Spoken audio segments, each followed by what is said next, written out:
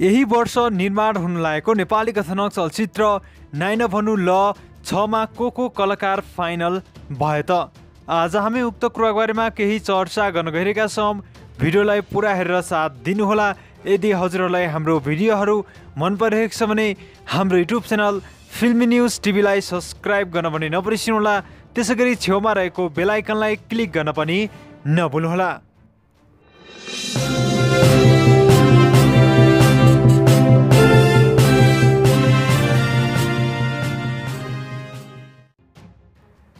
पछिल्लो समय नेपाली कथानक चलचित्र नाइन भन्नु ल छ निर्माण हुने भनेपछि यो फिल्मको एकदमै धेरै चर्चा भइरहेको छ भने पछिल्लो समय यो फिल्ममा को को कलाकार फाइनल होलान् भन्ने कुरो पनि एकदमै धेरै चर्चामा रहिरहेको छ।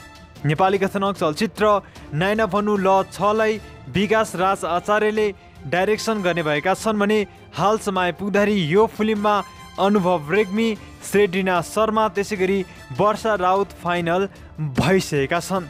त्यसै गरी यो फिल्मको लागि वर्षा सियोकोटीलाई पनि अफर गरेको छ। त्यसै गरी यो फिल्मको लागि विकास राज आचार्यले नायिका आचल शर्मालाई पनि अफर गर्ने तयारीमा जुटिरहेका छन्। यतिखेर कोरोना भाइरसले गर्दाखेरि देश पुरै लकडाउनमा छ। लकडाउनले गर्दाखेरि पनि यो फिल्ममा सबै कलाकारहरू फाइनल गर्न सकिरहेका छैनन् विकास राज आचार्यले। पछिल्लो समय विकास राज आचार्यले यो फिल्मको लागि नायिकाहरू धमाधम फाइनल गरिरहेका छन् भने नायक भने अहिलेसम्म फाइनल गरेका छैनन् र पछिल्लो समय नाइन भनु ल छमा को नायक होला भन्ने कुरो एकदमै धेरै चर्चामा रहेको छ।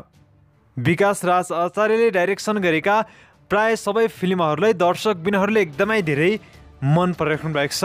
गत वर्ष विकास राज आचार्यले हजार जुनीसम्म फिल्म निर्माण गरेका थिए भने यो वर्ष नाइन भनु ल छ निर्माण गरिरहेका छन्। नाइन भनु ल छ फुल लभ स्टोरीमा आधारित रहनेछ। अब नेपाली कथानक चलचित्र नाइन भनु ल छमा पहिलोचोटि वर्षा राउत वर्षा सियोकोटी त्यसै गरी आचल शर्मालाई एकसाथ देख्न पाउने सम्भावना एकदमै धेरै देखिरहेको छ। अब भोलिको दिनमा यो फिल्ममा नायक भने को फाइनल हुने हो त्यो भने भोलिको दिनमा थाहा हुन्छ। हस् त्यति भन्दै म बिदा हुन चाहन्छु। हजुरहरूको विचारमा नेपाली कथानक चलचित्र नाइन भन्नु ल छमा को नायक हुनुपर्छ जस्तो लाग्छ।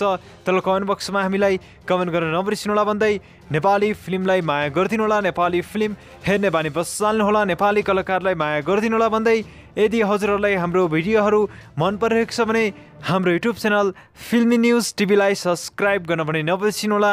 त्यसै गरी छेउमा रहेको बेलायकनलाई क्लिक गर्न पनि नबिर्सिनुहोला। हाम्रो युट्युब च्यानललाई हेर्दै गर्नुहोला लाइक गर्नुहोला सेयर गर्नुहोला कमेन्ट गर्नुहोला। हस्त धन्यवाद।